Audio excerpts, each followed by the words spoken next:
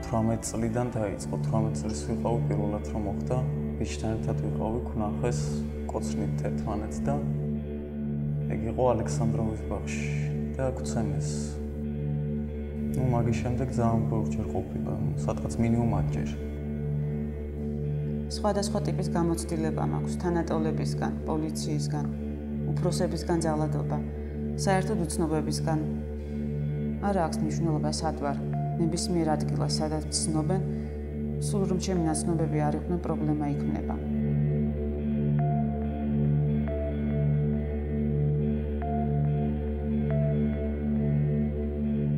პრივატ ჩავიცვა ქალის თანსაცმელი და გავიდე ქალაქში. რა თქმა უნდა, ეს ხდება ხამე და 90% ვერ მცნობს. რომ მე ვარ ბიჭი.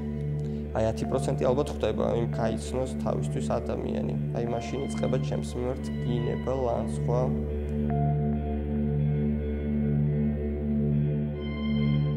ჩვენმეტი მაისის აქციის ჩაშლის შემდეგ, როცა აქცია დამთავრდა, თავისუფლების მოედნიდან მივდიოდი სახლში. ხალხი ისეთი გამძვინვარებული და გაცოფებული იყო, რომ ყველა გამრეულს თვალებში უყურებდნენ და გაიგოთ არის თუ არა ეს ადამიანი LGBT საზოგადოების წარმომადგენელი რომ დაეჩაგრათ. როცა უკვე სახლის ადაბაზოსთან ვიყავი, იქ რამდენიმე ადამიანი დამხვდა. დამეწივნენ ზურგში მირწყეს წიხლები. 17 მაისის მეორე დღეს ზუსტად მარჯანიშვილზე ტრანსპორტში ამომივარდნენ. ჩამიყვანეს და მცემეს TBC ბანკის შენობის უკან. 18-ში ბიჭთან ერთად ვიყავით. ნუ ისეთი ადგილი იყო, რომ საერთოდ არაფერი არ ჩანდა თითქმის. ის ბიჭი რო წავიდა 4 კაცი, კაცი კი არა, ახალგაზრდა ბიჭები იყვნენ. 4 უკნიდან მომიახლოვდნენ იღლიებში ხელი მტაცეს, წამიყვანეს ნელ ადგილას და დამიწყეს ცემა.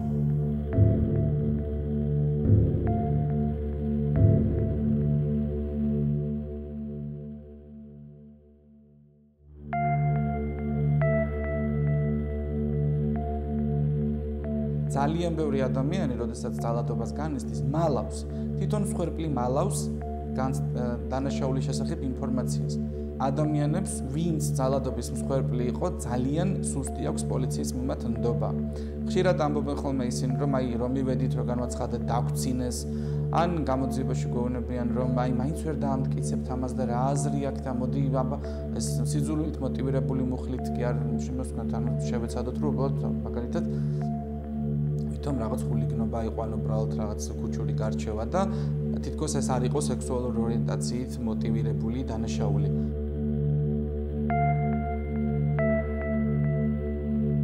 სიძულით მოტივირებული დანაშაული წარმოადგენს საფრთხეს არა ერთი ადამიანის მიმართ, არამედ კონკრეტული რომელიმე ჯგუფის მიმართ. იმ ადამიანებს, რომლებიც მიეკუთვნებიან კონკრეტულ ჯგუფის ჯგუფს და ესმით, რომ ამ ჯგუფის წარმომადგენელზე მოხდა თავდასხმა, ანუ იმათ ისინს შეშინდებიან ხოლმე ამის გამო.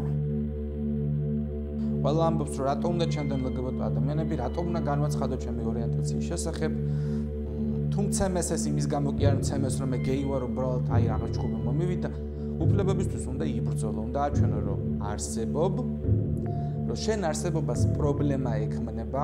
საზოგადოება შეჯერები და საქართველოსი არანაირად არ არის იმაზე შეთანხმებული, რომ LGBT თემის წარმომადგენლები ასევე სრულფასოვანი მოქალაქეები არიან.